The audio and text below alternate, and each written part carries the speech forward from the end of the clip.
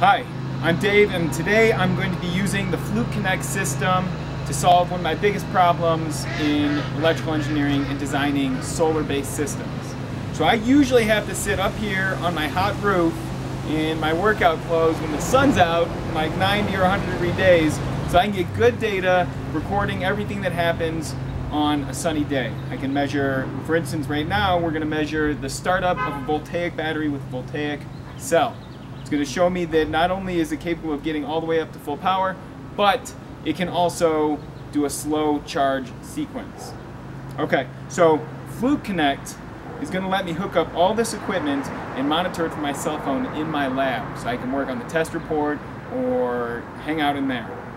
Now I know what a lot of you are thinking, Dave, you're complaining about doing work outside in the middle of the day when it's sunny. It's like, yeah, it's nice, but uh, you really want to be out here drinking beer. And you can't drink beer and take data. It makes for bad data. Anyways, let's take a close look at the setup and how it's going to work. So before we get into the nitty gritty of the app, let's talk about the test setup as a whole.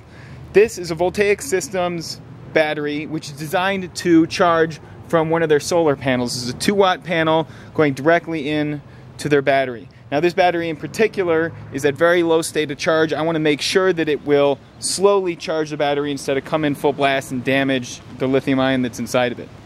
The test setup is pretty straightforward. I'm monitoring voltage and current. The current will be across a 0.1 ohm resistor and I'm doing that with these two Fluke instruments. So let's take a look at how we're going to connect these two instruments to this iPhone so I can monitor it remotely. First we got to add both of the instruments. There's one monitoring the current. And here's the one monitoring the voltage. Let's see if it's going to connect and start taking data. There we go. 4.69 whatever, 4.69 whatever, and 28.8. Perfect. These are both matching up. Now I can trust my phone here to take data.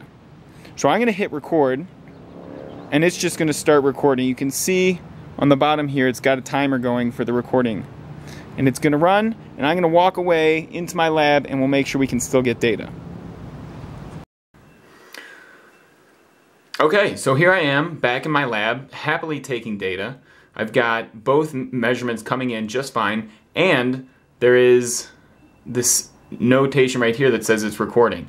So you can see, oh, if the thing will stay on, you can see the daylight and cloud cover changing. It's in this graph mode where it'll take your data and display it to you the most recent however many points.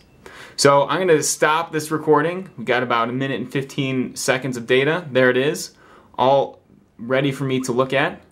I'm going to hit send. Yes, so I'm going to, I want to send it as a CSV next. And then I'm going to say what my email address is and send. All right, so now we've got all this data coming to me as a CSV file. Let's see how easy it is to work with. Okay, so I just saved the CSV file from the Fluke Connect data logging session and this is what I got. So we start with the title, which is great, the date, the time, okay. That's all fine. Then when we start getting into the data, you got value, which looks good, the units, which looks good, love it. Then you got date, good, time, no. There's, there's, this is not right.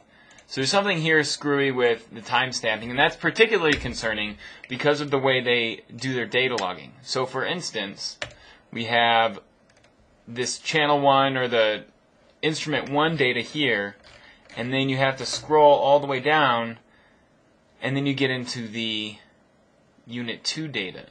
So I'm going to manually have to move all of this, all of this, up to here. Okay. But now here we have the problem where the, when the timestamp is not really a timestamp, it's a date stamp. We've got the data from one unit and the data from the other unit, but we don't know if they correlate to each other. And the problem here is this is power, so I have to know voltage times current. This is across a 1.1 milliohm resistor, so I can do a quick calculation here equals that times 10, and I get milliamps. Good, so this is milliamps. And I can copy this and paste it. Oh, but look at that. It looks like I have less data from one unit than the other. So here we have an even worse situation with the timestamp where I've been taking data concurrently, or what I thought was concurrently, and one of the sampling rates is different than the other. I went through and I couldn't find a way to check sampling rates or include timestamp or anything like that in the app. I'm not sure if this is a bug or if this is unintentional or if this is just a use case that Fluke's not interested in. But insofar as data logging, I would say it is uh, not super useful. Not for anything at least related to taking two measurements at once. It's nice that two instruments can be connected, but it looks like you can't data log it. Here we are at the end of the test setup, and in summary, I'd say Fluke Connect worked beautifully for connecting the DMMs and the voltage module to this app. I could see everything, it had a nice graph, and it took the data. The problem I have is the way it took the data. It was not a serious method at all. There needs to be timestamps, and if there's multiple different units connected, there needs to be some way to correlate when this unit was taking data and when this unit was taking data.